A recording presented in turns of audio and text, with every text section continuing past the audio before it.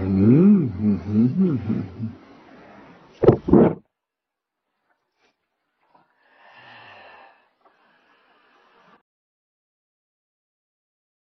So, the pro-diseased cult out there is still trying to find a link between vaccines and autism.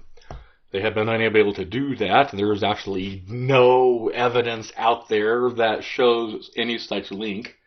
Of course, there's a shitload of evidence that shows absolutely no link at all. Um, currently, there is a study going on, uh, underway, where 23 million people are being surveyed and um, examined, their data collected, and trying to show if there is a link between the people who have been vaccinated and the people who have not been vaccinated and autism rate between the two. Uh, one of the largest studies already published had 14,700 people participating. Guess what? The rate of people who have been vaccinated and are autistic equals the rate of autism among people who have not been vaccinated. Approximately 1.1%. You know what that means. While the parents innocently slept, Big Pharma crept into the baby's room, hunched over the cribs, and vaccinated the little darlings. I cannot think of any other reason why the unvaccinated group matched autistic rate with the vaccinated group. So, of course, uh, for several months I have been roaming the blogosphere, the social media sphere, trying to understand why these evil, vile pieces of shit are trying to talk people out of getting vaccinated and dying in screaming horrible agony. I came across a video laying down here in my crotch. and of course I posted, you know, the facts I got a reply back from someone who calls himself or herself Maxwell Smart. Quote, Desertfoil, you broke the rules by posting this comment! Exclamation point. Read the rules in the description, period. Shame on you! Exclamation point. End of quote.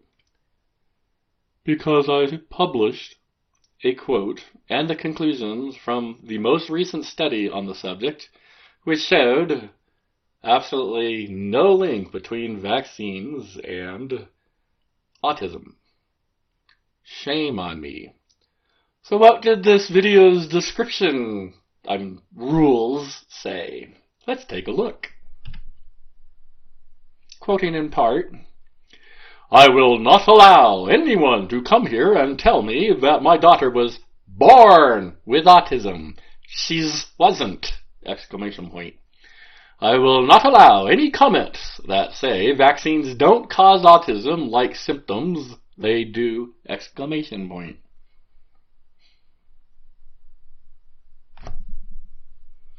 How does one... Never mind.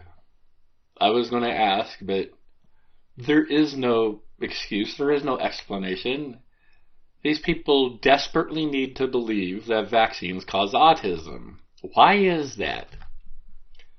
You might have known that the person, the most recent person, Andrew Wakefield, was paid almost $700,000 United States dollars to fabricate a link between autism and vaccines. He was paid by a lawyer to do that. The lawyer was mitigating a class action lawsuit against uh, pharmacists or uh, the pharmaceutical industry. And he needed evidence to show that vaccines cause neurological disorders. Couldn't find it, so he paid Andrew Wakefield to fabricate some. Funny thing, but documents show that Andrew Wakefield actually found a syndrome caused by autism or caused by vaccines before he did the quote study. He actually named the syndrome before he even ran any kind of study to find such a syndrome.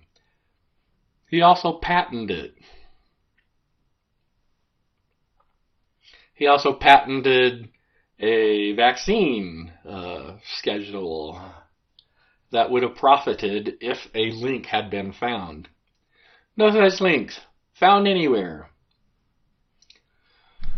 This will not stop the pro-death, pro-disease cult from insisting vaccines cause uh, autism.